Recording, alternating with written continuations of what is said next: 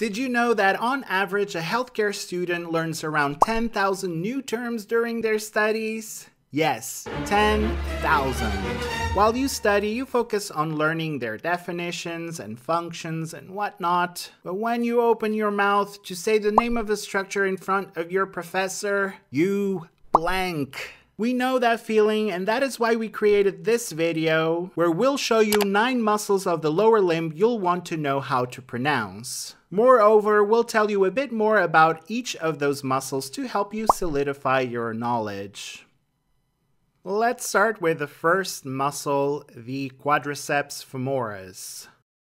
When we say never skip a leg day, we're trying to say don't neglect your quadriceps femoris. But why so? Well, the quadriceps femoris muscle, or simply the quads, is the strongest muscle of the lower limb. This muscle consists of no less than four heads that occupy the anterior compartment of the thigh. They are named the vastus lateralis, vastus medialis, vastus intermedius, and rectus femoris. You can already guess that this is why the muscle bears this name, as the prefix quadri means four in Latin.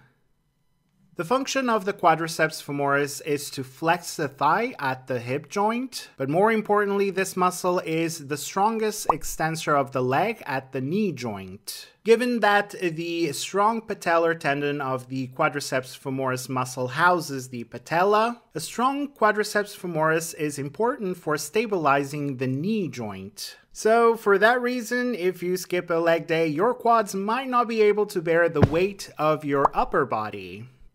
So the key points to take home are learn how to pronounce quadriceps femoris muscle and never skip leg day. Seeing something written this way seems like an error one would think. How do we pronounce these terms ending in AE? Well, this way, tensor fasciae lati or tensor fasciae latae. This is one of the gluteal muscles that, together with the holy trinity of glutes, which are the gluteus maximus, medius, and minimus, gives off a strong tendon located on the side of your thigh, the iliotibial tract. Since the muscle travels over both the hip and knee joints, the tensor fasciae latae has a wide set of functions. It internally rotates and abducts the thigh at the hip, while it externally rotates, flexes, extends, and stabilizes the knee joint. We're moving on to the third muscle on our list, the gracilis, also known sometimes as the gracilis. The gracilis is the muscle that shapes up the posteromedial sides of our thighs. This muscle originates from the lower aspect of the pelvis and extends all the way to the proximal tibia. The functions of the gracilis muscle include flexion and adduction of the thigh, as well as flexion and internal rotation of the leg. The gracilis muscle shows tremendous strength and ability to bring the thighs together, so much that you could squash a melon with it. We're moving on to another muscle on our list, the fibularis tertius, also known as the peroneus tertius. Yes, I know, it does sound like the name of a Roman emperor.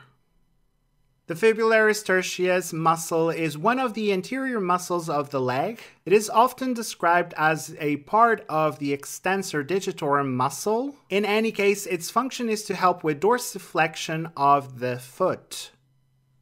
Since you learn how to say fibularis tertius, it will be easier to remember other emperors, I mean, uh, sorry, uh, other muscles with similar names fibularis or peroneus longus, and fibularis or peroneus brevis. You thought you were learning how to pronounce one muscle, but we ended up learning three muscles. It's three for the price of one. You're welcome. When I studied anatomy, I always connected this next muscle with something related to food or cuisine mastery as it has the gastro prefix. Although nothing to do with food or cuisine, there actually is some logic behind the name of this muscle.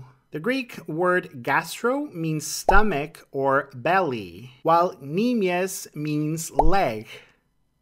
So the gastrocnemius muscle is one of the posterior muscles of the leg. It has two bellies and spans all the way from the distal femur to the calcaneus bone.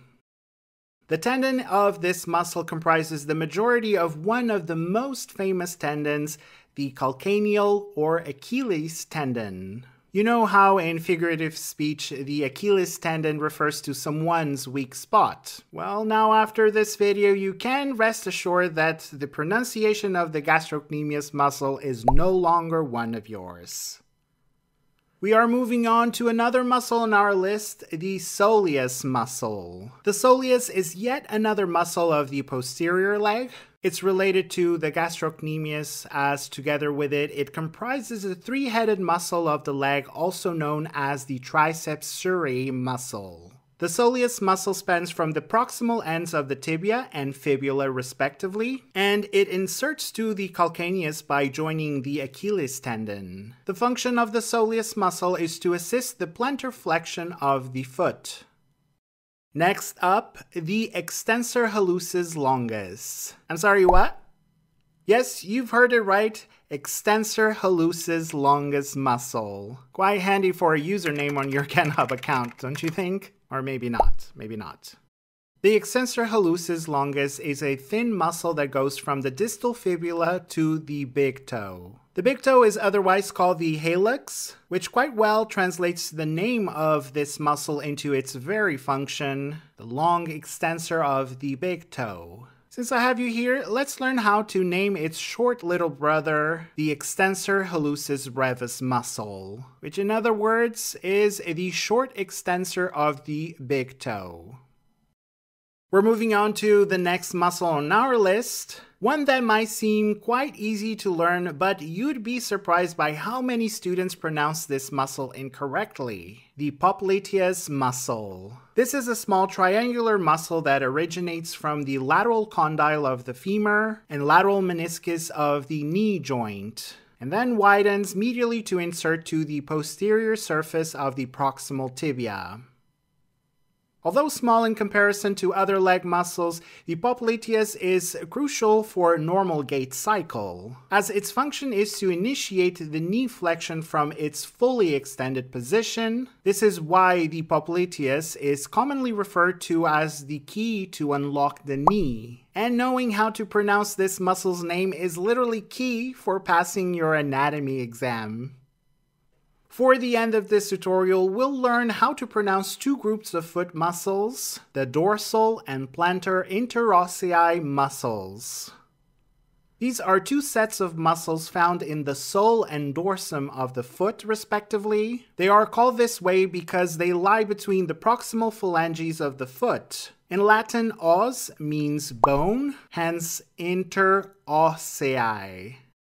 The functions of these muscles are to produce various movements of the toes, but also to stabilize the foot during walking.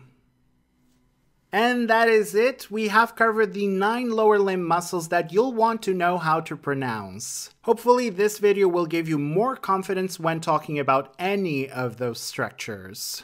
Knowing how to pronounce these terms is one of the many things you need to do when learning human anatomy. So you're not done yet. Continue learning with our fun videos, interactive quizzes, detailed articles, and stunning atlas connected to these terms. Click on the button to find everything you need to become a master in human anatomy.